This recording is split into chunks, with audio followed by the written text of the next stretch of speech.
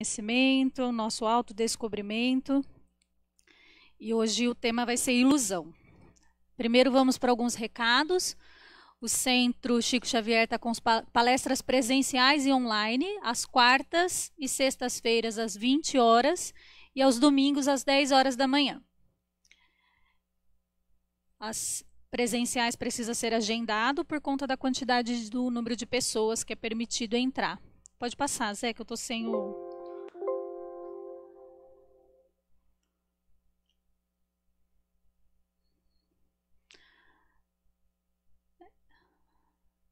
É, para assistir às palestras, né, como eu disse, tem que fazer o agendamento, atendimento fraterno somente online. As informações, como é, é, o agendamento deve ser feito pelo telefone que fica disponível no nosso site também. A evangelização infantil está suspensa nas palestras presenciais por conta do decreto ainda. A transmissão das palestras é feita pelo Facebook na página do Centro Espírita Chico Xavier. É, o atendimento fraterno online, como eu disse, é só fazer o agendamento, que aí vão te encaminhar. E caso necessite também de algum outro tipo de atendimento, eles orientam como ser feito. Arrecadação de alimentos, né, para campanha, uma campanha permanente que nós temos para as famílias que são assistidas aqui no Chico. E os itens individuais que podem ser feitos para montar, que pode ser trazido ou ser feito doações em dinheiro, aí é só falar com a Márcia, que tem o telefone disponível aqui, e também fica disponível no nosso site. É o bazar beneficente nosso, que fica aqui na Inconfidência, que tem peças a um preço bem acessível de R$ reais. Aí ele tem moda feminina, bolsas, masculina, infantil, bijuterias, e estamos aceitando doações também, tá? Quem puder trazer, é só trazer e deixar ali na, na biblioteca. É isso, bom, vamos lá ao nosso tema de hoje. Vamos primeiro à nossa oração. Vamos. Você põe uma música, Zé? Vamos fechar os olhos, se concentrar. Hoje falar de um tema tão importante que é a ilusão. Num momento tão delicado, onde estamos vivendo uma fase, uma era de muito emaranhamento do que devemos fazer, de caminho seguir. Então vamos fechar os olhos, nos preparar para que possamos receber hoje conhecimento com o coração, com a nossa alma. Vamos agradecer por podermos estar aqui, podemos estar encarnados. Vamos nos concentrar no nosso coração, deixar que uma luz pequenininha comece a crescer, se expandir. Lembrar da nossa conexão do coração, está mais perto do nosso self, da nossa alma. Nos conectar com o nosso espírito, com a sabedoria divina, com o todo. Deixar que essa luz se expanda do centro do nosso peito e essa luz, esse amor incondicional possa crescer, expandir, tomar espaço de todo esse ambiente, de todo esse bairro onde nos encontramos, de toda a nossa cidade, nosso país, que possamos estar conectados com essa corrente de amor, de luz, com os benfeitores espirituais que nos acompanham possamos abrir o nosso terceiro olho, para que o entendimento seja benéfico, coerente.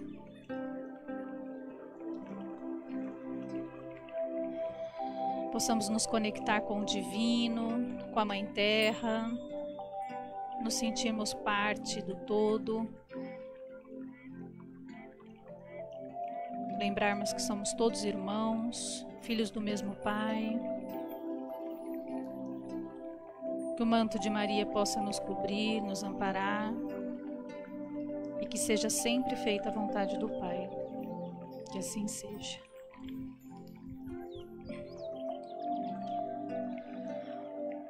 Bom, a série do Hamed, ela traz uma proposta bem libertadora. Isso é bem importante frisar. É, ele traz para nós né, temas como a crueldade, que já foi falado, orgulho, irresponsabilidade, crítica. Agora estamos na ilusão, ainda vamos falar sobre o medo, preconceito, vício, mágoa, culpa, egoísmo, baixa estima e por aí vai. Dependência, inveja, perda, insegurança, depressão, repressão, rigidez. E o que, que Hamed nos propõe? Que saiamos desse lugar de dualidade, disso eu posso, isso eu não posso, isso eu devo sentir, isso eu não devo. E ele propõe para que olhemos para nós realmente como estamos nesse momento, que é o que a ilusão tira de nós, que nós vamos falar hoje, e consigamos a partir daí caminhar. Que realmente nós possamos nos acolher como seres imperfeitos que somos, porém em constante transformação sem preconceito, sem julgamento. E isso é uma proposta realmente muito transformadora, muito revolucionária no sentido do amor, de olhar para essas imperfeições com amor e que possamos a partir daí nos transformar. Ele vem, propõe isso, é um trabalho muito bonito, feito com a espiritualidade, para que possamos refletir um pouco mais profundo sobre nós mesmos. Hoje o tema é ilusão, e aí eu faço a pergunta, né?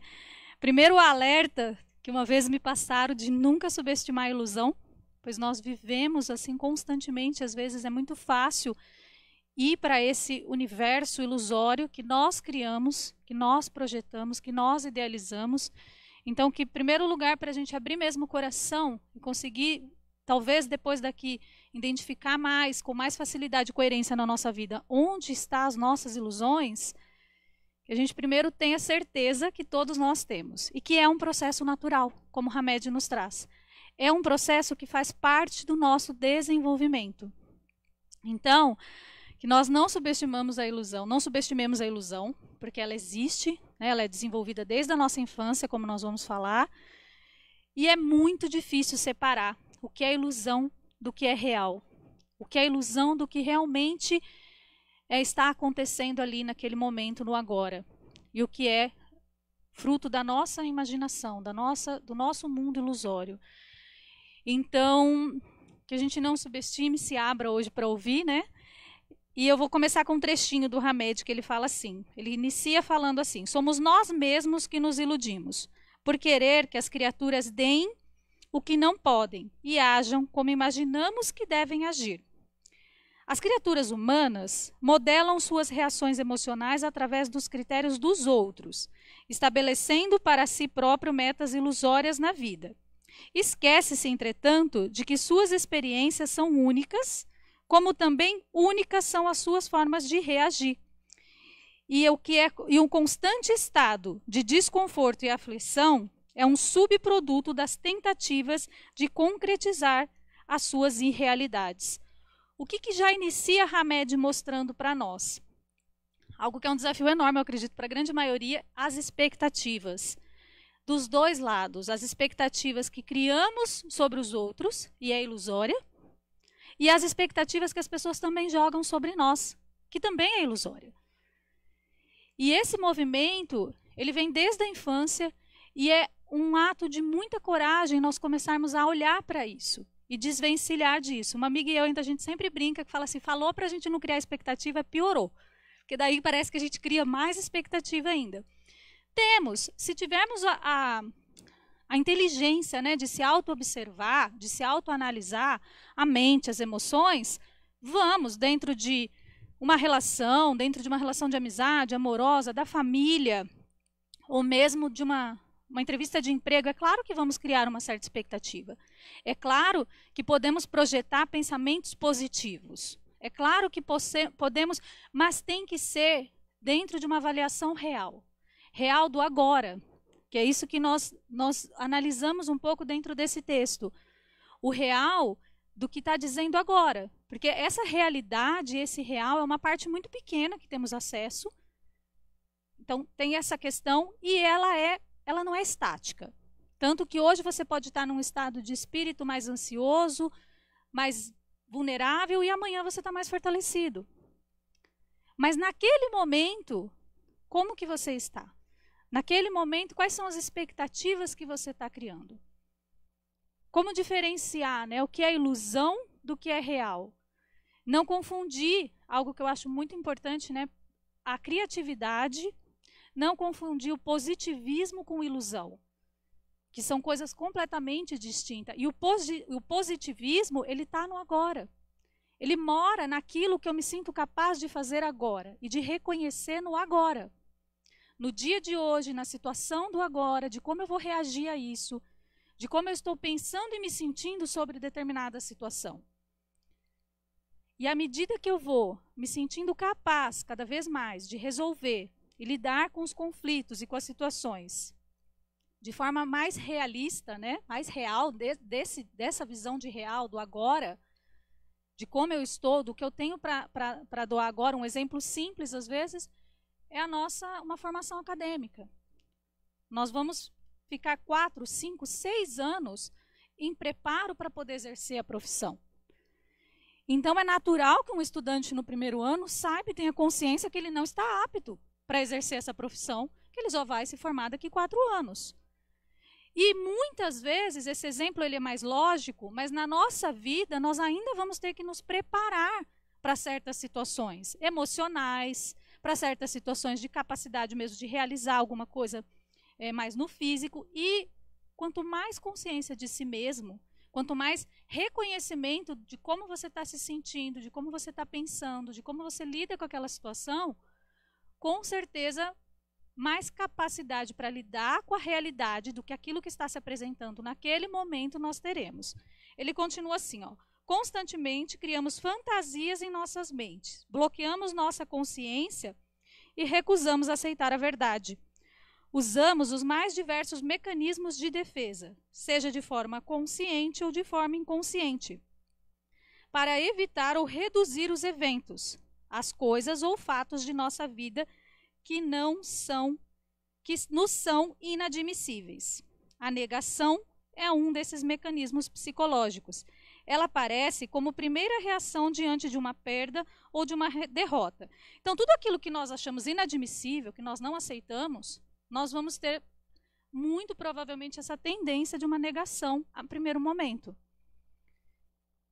E é uma negação da realidade, daquilo que está se apresentando ali. A prova disso, uma que acho que é bem familiar a todos, é muitas vezes a negação da forma de como nós somos criados, dos nossos pais, de como as pessoas são, de como elas realmente se apresentam e que nós nos desiludimos, muitas vezes vivemos processo de desilusão porque não observamos os sinais, porque não paramos para ver como estamos reagindo, como o nosso corpo está nos contando que a gente está tá sentindo e assimilando aquilo. E aí nós vivemos processos de desilusões, e depois de muito tempo, quando a maturidade vem, às vezes a gente retoma aquela experiência, nós vemos a gente falar, ah, mas é, na verdade eu já sabia. Não é comum, às vezes, a gente falar isso? Ah, no fundo eu sabia. E se no fundo eu sabia e não fiz, é natural também. Porém, vai chegando um momento, ainda mais numa transição planetária, com os desafios que nós estamos vivendo, que nós podemos nos cobrar e não nos autocriticar, mas nos cobrar um pouco mais de ficarmos mais atentos a esses eu já sabia, dos nossos limites, do que realmente eu sou capaz de me dar agora, do que realmente eu quero ou não receber, e está tudo bem também, mas aí me cobra um posicionamento, e isso realmente me tira do processo de ilusão, porque aí eu preciso me comprometer com aquilo que eu me posicionei, com aquilo que eu escolhi. E, e a ilusão, ela pode estar, essa negação da realidade, ela pode estar tanto no positivo, entre aspas, como no negativo. Só para dar um exemplo, que a gente vai falar disso já já. É porque eu posso criar na minha cabeça uma, uma fantasia imaginária de uma pessoa, ou de um lugar, ou de uma situação com qualidades positivas da qual aquela pessoa não corresponde, aquele lugar não corresponde àquilo. Eu falo, ah, mas podia ser. Ah, mas no mínimo a pessoa tinha que. Ah, mas também não podia pelo menos fazer tal coisa. Gente, a gente não faz. Parece que é uma coisa assim, né? Todo mundo, até as frases são normalmente assim um clichê que todo mundo, todos nós repetimos. Porque no fundo eu não quero olhar para aquilo como uma realidade. E o negativo também. Às vezes é uma questão positiva, uma pessoa, e eu estou presa nas minhas sombras, eu estou presa na minha ideia de mundo e fico olhando e negativando aquilo, e às vezes é bem mais positivo, bem mais saudável e fluido. Ele continua assim. Um exemplo clássico de ilusão é a tendência exagerada a certas pessoas de querer fazer tudo com perfeição. Aliás, querer ser o modelo perfeito, essa abstração ilusória, as coloca em situações desesperadoras. Trata-se de um processo neurótico que faz com que elas assimilem cada manifestação de contrariedade dos outros como um sinal de fracasso e a interpretem como uma rejeição pessoal. O ser humano super. Então, aqui, essa é uma. Então, ele já traz que uma das, das grandes ilusões da nossa vida é essa perfeição. E ela é fruto da construção social e fruto ainda mais enraizado, às vezes, do modelo familiar que nós temos, que nós vamos falar isso lá no outro texto do Hamed, com mais profundidade. Então, muitas vezes eu fui muito cobrado a ser perfeito. Na sistêmica tem uma frase que eu gosto muito que eles falam que filhos de pais perfeitos não sabem quem são e não podem ser quem eles vieram ser. Olha que forte isso.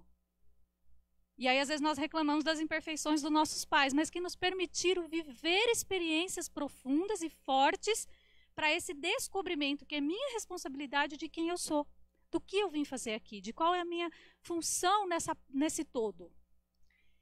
E a hora que você pensa nessa frase, ela tem muito sentido, porque realmente filhos de pais perfeitos não podem ser quem eles são, porque eles são imperfeitos. Eles são falhos, eles são vulneráveis. Então, para eles descobrirem quem são, vai ser uma dificuldade enorme mesmo. Porque eles vão ficar presos em formas tão rígidas, como de pais autoritários, né, de pais violentos, está preso em formas tão rígidas, que realmente sair disso, que também é possível, é um trabalho muito grande que muitos de nós, às vezes, passamos uma existência e passamos pela Terra com bem pouco autodescobrimento, com bem pouco autorreflexão de si mesmo, então, aí ele continua assim. O ser humano supercrítico tem uma necessidade compulsória de ser considerado irrepreensível. Sua incapacidade de aceitar os outros como são é um reflexo da sua incapacidade de aceitar a si próprio. Sua busca doentia de perfeição é uma projeção de suas próprias exigências internas. O perfeccionismo é, por certo, a mais comum das ilusões e questionavelmente uma das mais catastróficas quando interfere nos relacionamentos humanos. Então, ou seja, normalmente uma pessoa muito cobrada, uma pessoa que foi muito criticada, que foi muito cobrada que fizesse tudo certo, tudo perfeito. As mulheres, eu acredito que tem, nós temos uma dosagem a mais disso aí, então nós queremos normalmente agradar mais, fazer mais, estamos sempre nos sentindo culpadas por fazer por nós mesmas, por descobrir nosso caminho, nossos sonhos, por brilhar, por fazer. A mulher tem mais dificuldade de prosperar, de várias questões, isso é bem delicado mesmo. E o homem também, o ser humano em si, mas por uma questão cultural, isso é mais negligenciado a nós, porque nós somos cobradas de forma super crítica mesmo, para agradar, para servir o outro. Então, e isso com o homem também vai ser danoso, porque ele tem que descobrir quem ele é, fazer por prazer, fazer por uma condição de liberdade amorosa, e não porque isso me é imposto. E de uma sociedade autoritária, nós vamos achar que isso não que isso que é ilusão, né? Que ser livre, amorosos e, e pacíficos é que é ilusão. E não sermos forçados a fazer aquilo que não nos pertence, que não nos agrada, que não diz do nosso espírito.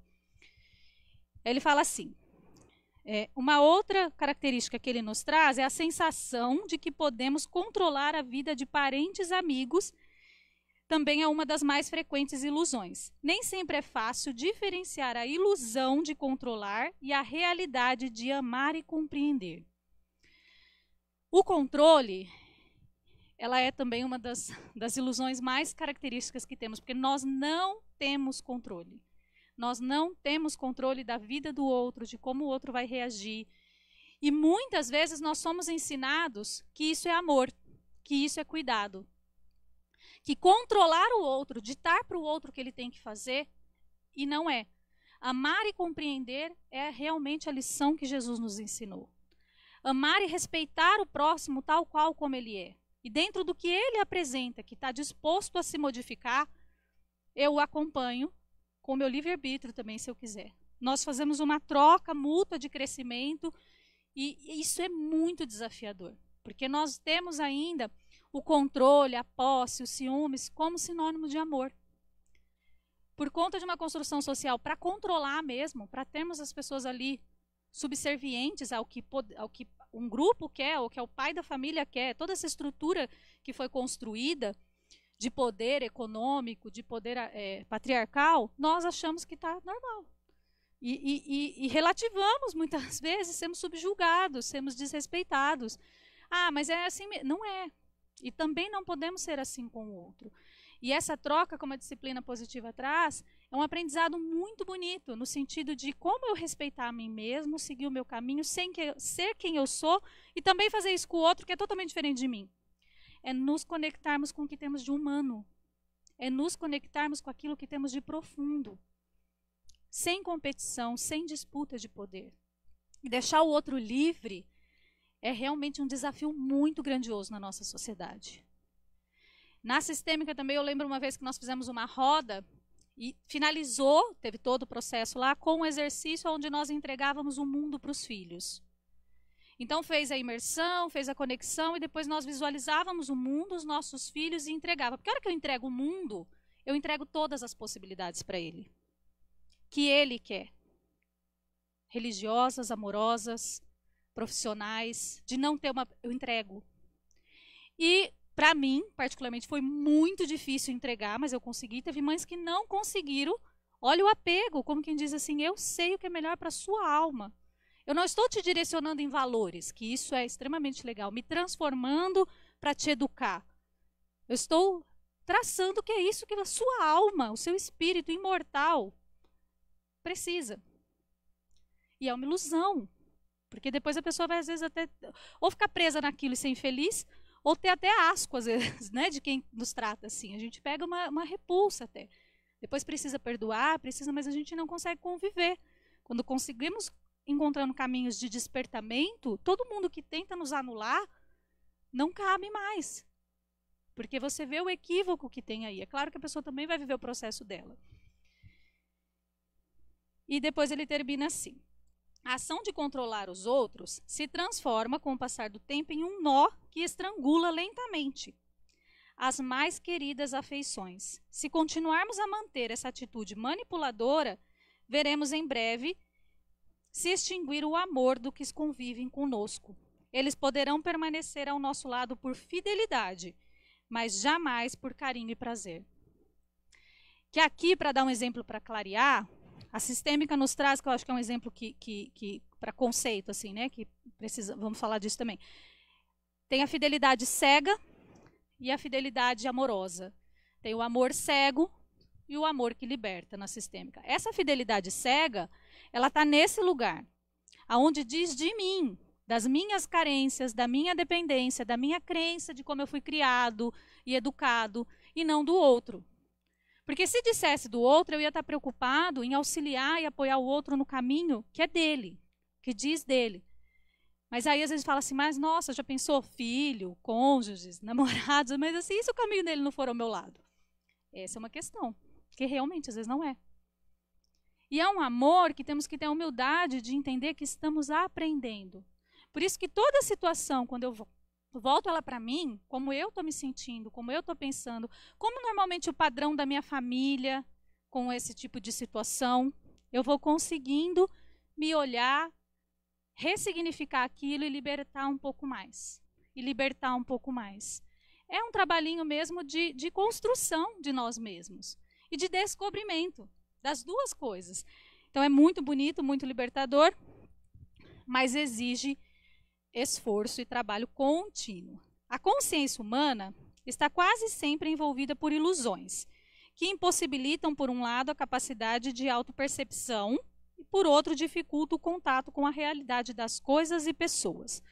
Ou seja, então aqui ele já traz que é um processo natural mesmo da consciência humana estar tá ali imersa em ilusões, em coisas que a gente cria porque estão o quê? Estão dizendo de nós. Então ela impede a minha autopercepção de mim mesma e aí consequentemente, a percepção do outro e das coisas que estão acontecendo ao meu redor. Se eu faço esse processo de autoobservação, de observar minha mente, onde ela está, meu sentimento, como eu estou reagindo àquilo, né, revisito um pouquinho a minha história, como eu disse, eu vou conseguindo ter uma autopercepção maior. Com a autopercepção mais aguçada, eu vou me desemaranhando das ilusões e consigo também perceber com mais facilidade o outro. E você percebe quando é perceber que ele vem bem menos carregado de julgamento, ou nem vem, ele vem bem menos carregado de emoções que nos tiram do nosso prumo, porque você está percebendo o outro. Aí não diz mais de você. Quando tem essas questões mentais mais repetitivas, emocionais mais doloridas, está dizendo de nós, está nos afetando, então diz de nós. Não culpemos ninguém pelos nossos desacertos, pois somos nós os únicos responsáveis, cada um de nós pela qualidade de vida que experimenta aqui e agora. O que eu estava falando da realidade ser positiva no agora.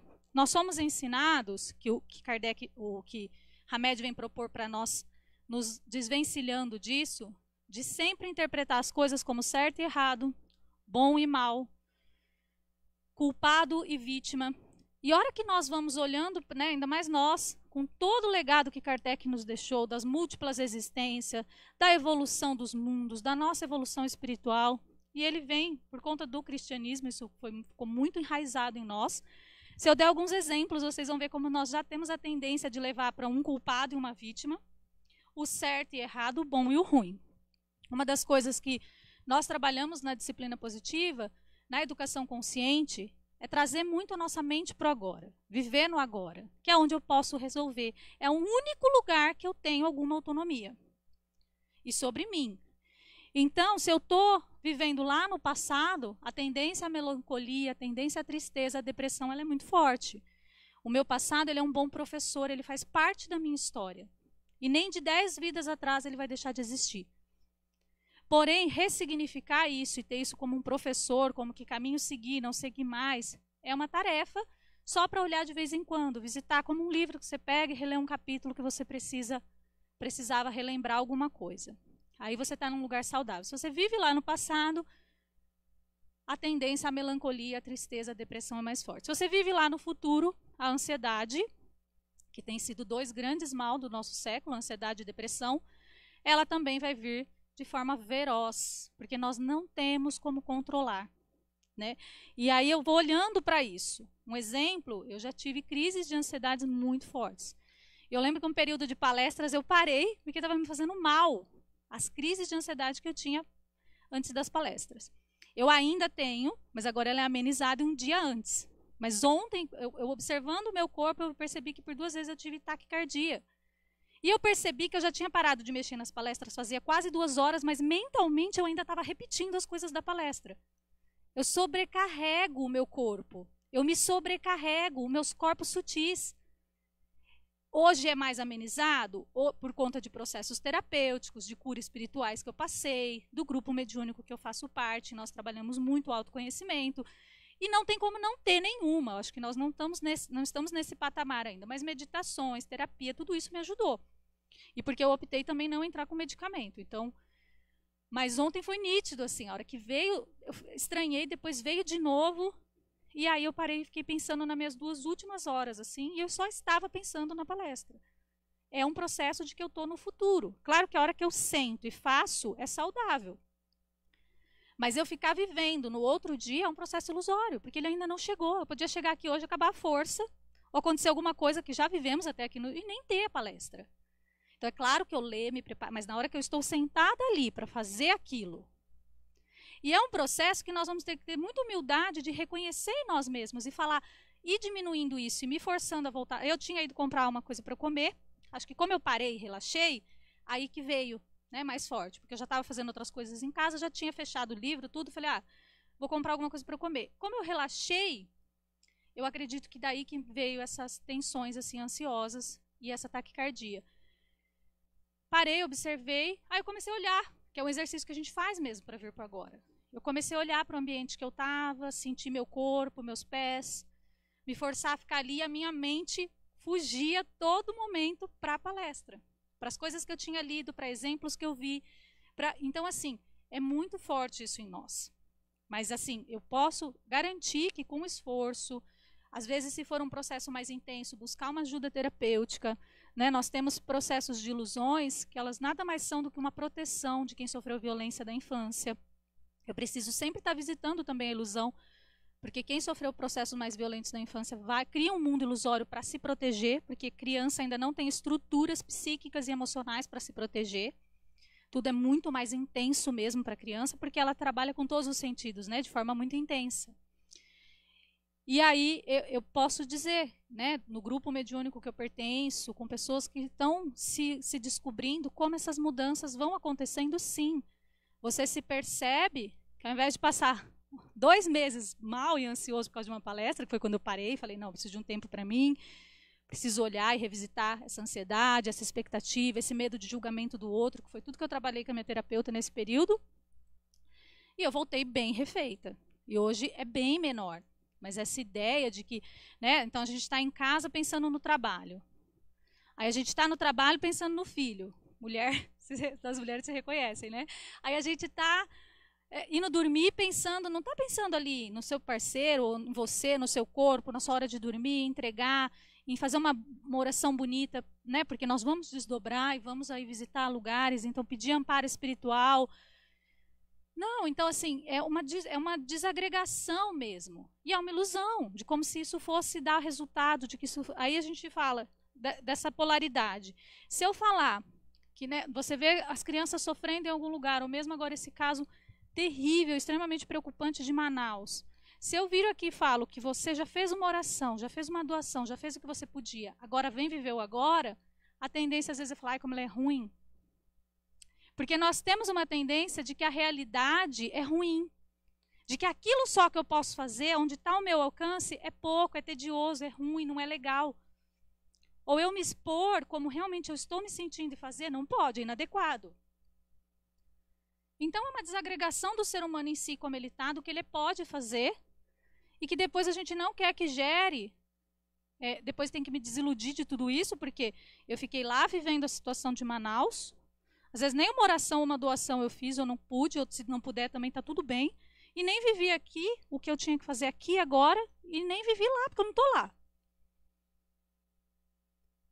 E aí eu trago esse exemplo porque ele está bem vivo na nossa mente, para que a gente possa identificar em nós que a gente fala né, que a tendência é viver no passado, no futuro ou na vida do outro. E esses três lugares eu não tenho controle. Esses três lugares, eles são ilusórios, mas eles são ensinados para nós, porque daí me tira de mim mesmo, é mais fácil me controlar, de que é correto.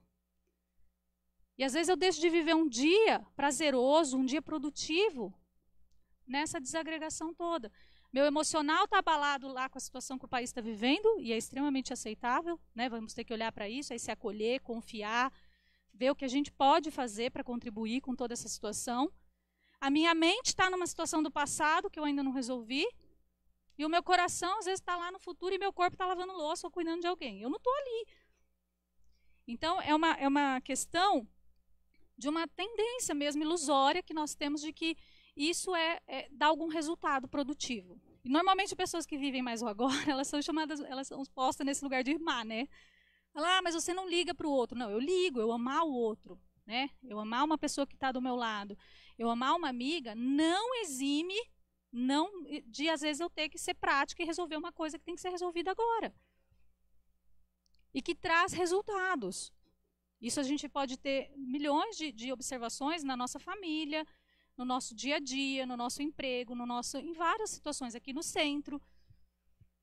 Então, assim, é claro que o que a gente ensina né, da autotransformação, e o que eu aprendo com mães, com pessoas aqui no centro, é a firmeza amorosa. Eu ser firme diante daquilo que tem que ser feito no agora, comigo mesma ou com o outro, mas eu posso também, junto disso, ir trabalhando a amorosidade. Eu não preciso ser rígido, eu não preciso ser agressivo, eu posso ser amoroso. Me cobrar, ver que eu não fui, está tudo bem, me acolho, peço desculpas às vezes se não fui com o outro, e aí eu não deixo nem negligencio aquilo que tem que ser feito, mas posso ir achando caminhos amorosos. É, no segundo texto, aí ele finaliza esse texto só falando que nós estamos na Terra para estabelecer uma linha divisória entre a sanidade e a debilidade. Portanto, é imprescindível discernir o que queremos forçar que seja realidade daquilo que realmente é.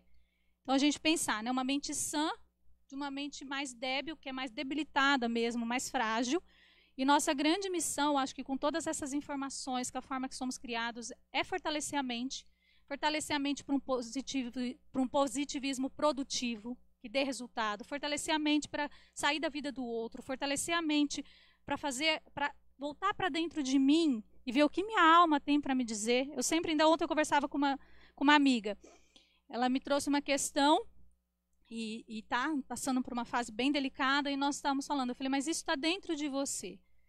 Se esse sintoma está tá, tá, tá reverberando no seu corpo, no seu mental, no seu emocional, isso está dentro de você. Se somos seres perfeitos, a resposta também está dentro de nós. É claro que uma terapia, um atendimento aqui na fluidoterapia espiritual, ele nos auxilia muito. Mas nada mais do que ele vai conectar com o insight que está dentro de nós. Porque eu vou ter que estar tá disposta a perceber e depois pôr aquilo em prática. Então tá, está dentro de nós. E muitas vezes tiram de nós essa força divina. E aí, o outro texto dele, que Hamed trabalha sempre um tema com dois textos. Ele vai falar aqui com mais profundidade das emoções das crianças, da nossa criação familiar. E ele começa assim: é mais produtivo para a evolução das almas acreditar naquilo que se sente do que nas palavras que se ouvem. Ou seja, é mais produtivo para nós. Fazemos toda essa avaliação que eu estou falando, daquilo que estou sentindo, como estou reagindo, como eu estou pensando, com o que, que eu estou conectada com o meu histórico familiar, do que com o que o outro está falando. Porque o que o outro está falando diz tudo isso dele. De todo esse passado, de toda essa história, de toda essa visão de mundo dele. Então, para que você tenha mesmo essa força em suas mãos, essa força interna, é mais valioso. E aí ele fala assim, ó, quase sempre, ele fala das ilusões de posse, de poder, de força bruta, do sexo, de todas essas referências que nós temos na infância. Né? Então, nós vamos associar a posse material à felicidade, o poder, muitas vezes, e fama a amor, a sucesso, a força bruta à proteção né? nas crianças. Então, isso aqui é, é ainda que bom que estamos desconstruindo, né? Mas o sexo é uma gratificação de vida, a contentamento, né? A, a ilusórios. Então, todas essas referências, nós muito provavelmente reagimos com muito empenho exagerado, como se aquilo fosse a, meta da minha vida, por exemplo, posse, poder, ou rechaçamos, por exemplo, o sexo, seja o que for, de acordo com a forma que foi me ensinado na infância. Ele ainda fala aqui, todas as quase sempre Desenvolvemos essas ilusões na infância, com os nossos pais, professores, outros parentes, como sendo reais ensinamentos, quando em verdade não passam de crenças distorcidas de indivíduos que tinham o dinheiro, o sexo, essas questões como divindades. Então, o que é muito importante? O que foi muito importante para minha família? Como foram as dificuldades dela? Como era a forma que ela achava correto me conduzir para me ensinar? E aí eu li uma frase hoje, de uma educadora parental que eu acompanho, que ela fala assim: a forma que fomos tratados na infância é a forma que achamos que merecemos ser tratados. Então, se eu fui tratada de forma muito rígida, se eu passei por processos de rejeição, se eu fui muito maltratada, se eu fui muito cobrada e criticada, muito provavelmente eu vou arrumar um patrão assim, um gerente, um parceiro, uma parceira, porque eu acredito que eu mereço e não que eu sou filho amado de Deus imortal, com uma alma infinita, com infinitas possibilidades. A dualidade, ela mostra para gente diferenciar né, com mais clareza. Mas dentro daquela situação não tem o certo e o errado, o bom e o ruim, o culpado e o, e o algoz. Tem infinitas possibilidades que é responsabilidade minha trabalhar sobre aquilo. E aquilo diz do meu caminho. Uma amiga minha, ela colocou uma, um texto ontem, que eu achei bem sincrônico, né? nós fomos embora na quinta falando sobre a ilusão, e ela escreveu assim, é a Glei Faverão, ela é aqui do, da casa também, médium aqui da casa, uma, uma pessoa que eu adorei conhecer esse ano que passou, e ela está no nosso grupo, que nós temos um grupo mediúnico de mulheres, só com mulheres, e ela colocou assim, ó, o corpo material deseja empenhar toda a sua energia no que é palpável, e entende como instinto de sobrevivência. Entre tantas coisas, ele também quer garantias, quando o espírito almeja algo diferente. O corpo entende como se fôssemos colocá-lo em risco. Ele acredita fielmente que essas emoções vão nos cegar e nos conduzir por um caminho de ilusão e sofrimento. Existe um conflito entre o corpo e o espírito. O espírito não retém sua visão ao mundo material. Nosso espírito não retém. Mas o mundo material é tudo que o corpo enxerga. É? Que vamos dizer aqui também o nosso ego, né? Eu poderia dizer. Convencer cada átomo regido pelas necessidades materiais a ouvir a voz interior que vem do espírito é uma luta interna. O nosso espírito é sabedoria suprema, divina. Ele sabe o caminho que devemos seguir. Ele sabe o que devemos olhar e fazer. Porém, essa luta do ego, essa luta com essas crenças e com o material e com o apego e com essa segurança que a gente precisa ter palpável e que ela é ilusória, vai existir esse conflito. Essa luta interna mesmo para que o espírito prevaleça. E muitas vezes, em uma sociedade tão adoecida como a nossa, nós estamos deixando que o corpo, que as crenças, que o ego prevaleça. E aí ela continua assim: é importante entender que o corpo está a serviço do espírito e não o contrário. Olha que coisa mais linda isso. O corpo está a serviço do nosso espírito. É o espírito que nós temos que ouvir. É o espírito, é o nosso eu divino que nós precisamos começar a nos conectar, inclusive para que apareça essa ilusão e eu possa, a partir de vê-la, trabalhar em cima dela. Sob essa ótica, é possível notar que a origem das ilusões está no corpo material e não no espírito. Somos seres espirituais vivendo uma experiência humana. Ou seja, aquilo que toca profundamente as nossas emoções, aquilo que traz completude, aquele sentimento de pertencimento, de voltar para casa, de cura, é o que nos guia no caminho do espírito que habita no universo há milhares de anos e tem seus próprios propósitos.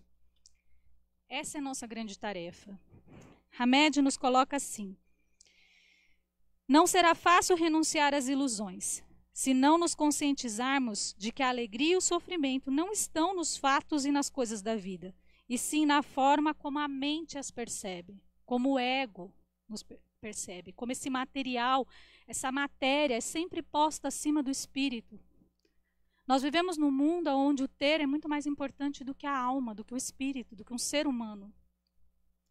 E nós vemos isso no consumo, no padrão completamente distorcido de beleza que não deveria existir jamais um padrão. Cada qual é como é, cada qual faz com o seu corpo aquilo que se sente bem e como deseja conduzi-lo. E então, são ilusões criadas por um mecanismo econômico, por erros de poder, que nós já estamos num lugar buscando, cada um que vem aqui que está assistindo, creio eu, que está buscando é, é, modificar tudo isso. Nós vivemos num, num, numa geração, numa geração não é sempre foi assim, que conceitua pessoas, seres humanos. Uma coisa é nomear uma mesa, né? Isso é mesa.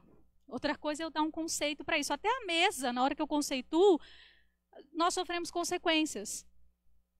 No canal Amigos da Luz, tem um capítulo, né, que é Espiritismo e Humor, que o dirigente da casa está triste, que não tem mais jovens, que a mocidade sumiu do espiritismo, e sumiu mesmo. E aí, um benfeitor chega, espiritual, e fala assim: Mas olha também o jeito que vocês estão falando, né? O jeito que vocês estão fazendo. Mudou, né? 1800, quando Kardec falava assim, tudo bem, agora é ano 2000. E aí ele fala: ah, mas aqui tem que ter ordem, tem que arrumar todas as coisas, tem que. Ele falou: não, os tempos mudaram. É constante evolução, é constante mudança. O que tem que prevalecer são valores. Esses dias eles quiseram usar a mesa. E vocês não deixaram. Eles falaram: é claro, eles queriam subir em cima da mesa mediúnica. Ele falou: não, a mesa não é mediúnica. Mediúnica é o médium, é o momento, a mesa não. Entende? Como nossa, e se isso acontece com uma mesa, Imagina o que não acontece com um ser humano infinito quando conceitua que ser mãe tem que ser assim. Senão não é boa mãe. Ser filho tem que ser assim, senão você não é um bom filho. Eu não lido com a realidade que está me apresentando ali, que é claro que eu quero que eu evolua, minha esposa, meu marido, meu filho, que a gente cresça. Mas crescimento é a partir do que está se apresentando ali. E, se, e é esse é o ponto, se nós fazemos isso com um objeto, mas ele não tem sentimento. Ele não tem emoção. Imagina o peso que é quando nós objetivamos uma mulher. E a sociedade faz isso. Inclusive, nós, mulheres, né, reproduzimos o machismo e às vezes fazemos isso também. Então, é muito delicado. É um tema que realmente, se abrirmos o coração para esse tema, nós vamos realmente viver processos de transformações lindíssimas. Mas lidando com o real. Realmente sendo verdadeiros com a gente. Com os preconceitos que temos, com as dificuldades que temos de lidar com as nossas crenças. E aí, Hamed traz a questão da emoção de uma forma bem bonita. Ele fala: importa considerar, no entanto, que as emoções são amorais e que senti-las é muito diferente de agir com base nelas. Eis quando possam ser uma questão moral social. Ou seja, a raiva, a tristeza, a alegria e medo são emoções básicas. O bebezinho a gente já vê sentindo ali, né? E nós somos ensinados como se só a alegria valesse a pena e pudesse. São emoções básicas, são intrínsecas, estão em nós. Mas nós somos tão ensinados a negar o medo, negar a, a, a raiva, negar esses sentimentos e não como agir com eles, que aí nós vivemos num mundo de dor, nem vivemos essa alegria que as emoções básicas também traz, já dentro de nós, intrínseca, e nem conseguimos também lidar bem com a raiva, com o medo. E ele fala assim: colocar restrições às emoções é como querer segurar a onda do mar. Quando colocar restrições ao comportamento humano é perfeitamente possível e válido, ou seja, as emoções elas existem. Elas já estão ali. Para mim é um desafio muito grande lidar com a raiva. E eu tenho achado caminhos. E de forma firme eu tenho percebido que eu trabalho bem essa energia. Mas para eu ser mais assim explosiva e fazer alguma coisa que às vezes assim o meu corpo necessita, eu não consigo. Para mim é muito difícil. Para as mulheres é muito mais difícil. Como para o homem lidar com a tristeza, que também é uma emoção básica, também é mais difícil. Então nós precisamos nos ver como humano. E se você está perto de pessoas que isso é para você difícil, eu sinto muito te dizer. Se você quiser entrar nesse processo, muitas pessoas não ficam mais ao nosso lado. Porque é o nosso ciclo, é o nosso caminho. Porque a hora que você descobre que você pode ser você mesmo, que você tem um caminho a seguir, a se reconhecer como aquilo que você está sentindo, você tem o direito disso, dificilmente essa, essa dinâmica dá certo, né, com, com, com pessoas que estão mais fechadas. Não sentir é viver em constante ilusão, distanciando do verdadeiro significado da vida. A repressão das, das emoções inibe o ritmo e a pulsação interna, limita a vitalidade, que é a energia da vida, e reduz a percepção. Então imagina, se você não se permite sentir, você realmente é, vive um mundo de ilusões, vive uma repressão que isso não é real. Então, é, para finalizar, o que Hamed nos traz, eu trouxe um conto budista que eu acho achei muito bonito, eu já tinha ouvido ele há um tempo atrás. E lembrei dele hoje de manhã, olha que coisa. E fala que certa vez é, seguidores de Buda chegaram até ele e falaram assim: é, Buda, tem uns peregrinos e uns estudantes aqui na cidade e eles não param de discutir. É, um diz que o mundo é eterno e infinito, o outro diz que não é, e eles ficam brigando e brigando. Outro diz que a alma é eterna, aí outro grupo diz que não é, e eles não param de brigar é, nós viemos aqui ver uma orientação, né? É, saber o que, que você tem a dizer disso. Ele se pediu para os seus seguidores sentar e contou uma história. E disse que certa vez tinha um, um senhor que chamou seu servo e falou assim: busque todos os cegos da cidade para mim e mostre para eles é, um elefante. O servo foi lá com muita prontidão, buscou, encontrou todos os cegos que tinha na cidade e para alguns ele mostrou a cabeça, alguns desses cegos, para outros ele mostrou a barriga, para outros ele mostrou o rabo, para outros ele mostrou a perna, para outros ele mostrou a, a tromba. E ao final, esse senhor virou e perguntou: O que é um elefante? E uns disseram assim: Ah, a cabeça parece um barril. Outros disseram: Ah, o rabo parece uma corda. Outros: Ah, a perna parece um pilar a ponta do, do, da cauda parece um pincel. E nisso que cada um foi falando as suas impressões da parte do elefante, eles começaram a brigar descontroladamente. Não, não é isso. Não, você está errado. Não, você não sabe de nada. E Buda vira e disse: Vocês percebem? Eles entraram numa discussão completamente é, descabida, desconectada do todo. E aí eles falam, né? Ele pergunta, vocês, a hora que eles começam a falar, aí Buda continua. Que se eles tivessem se unido em pensamento e compartilhado as impressões que cada um tinha ali, eles estariam ligados por um todo maior. Nós temos a nossa essência individual, porém que veio para servir um coletivo. Uma consciência coletiva muito maior, a qual a gente não é capaz de perceber. E aí, na reflexão desse conto, eles pedem para a gente evitar pessoas que só queiram simplesmente discutir, que só queiram simplesmente provar suas verdades e não compartilhar. Porque quando nós estamos unidos por um único pensamento, por um pensamento único, que é o que esse grupo tivesse feito, eles teriam percebido que se eles se juntassem, eles veriam o todo do elefante e só compartilhassem. Que pessoas que não estão dispostas a compartilhar, estarem unidas pelo mesmo pensamento e compartilhar o que tem no seu coração, não vale a pena. No momento de transformação, no momento que precisamos nos unir para nossa melhoria, melhoria interna e para o nosso coletivo, que está completamente do, adoecido, é só vermos a natureza, esse vírus, a nossa política. Não vale a pena perder tempo, gastar energia com isso, com pessoas que não querem se conectar num único pensamento do qual você só tem uma parte, só tem a sua. O outro tem a dele. E simplesmente ter essa troca com o coração, nós realmente vamos viver esses processos adoecidos. Então, foi essa mensagem que eu tinha hoje para vocês. Agora vamos fazer uma, uma oração com uma visualização positiva para que a gente possa se conectar com o divino, possa sair daqui reabastecidos e possamos, dentro do nosso mundo interno, nos visitar e nos revisitar.